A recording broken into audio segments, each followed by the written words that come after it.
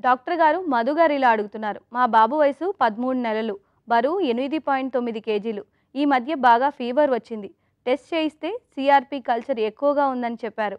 మందులు వాడితే తగ్గింది. మా బాబు పదవ నెలలోనే నడిచాడు.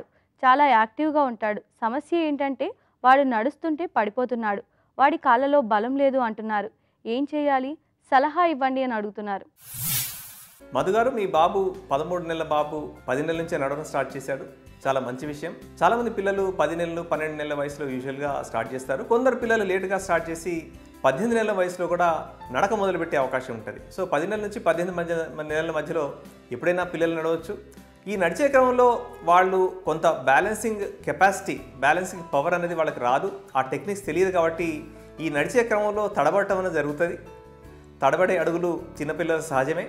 దాన్ని మనం వీక్నెస్గా బలహీనతగా భావించొద్దు.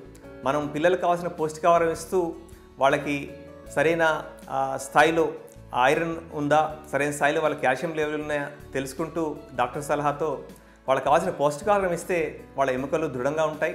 వాళ్ళకి కావాల్సిన ఐరన్ ద్వారా శక్తి లభిస్తుంది. వాళ్ళకి కావాల్సిన ప్రోటీన్ సంబంధించిన ఆహారం మనం ఇస్తూ పిల్లలు వాళ్ళు మామూలుగా అంటే పడిపోకుండా బ్యాలెన్స్ మెయింటైన్ చేస్తూ నడిచేందుకు వాళ్ళకి మనం దోహదం చేయొచ్చు.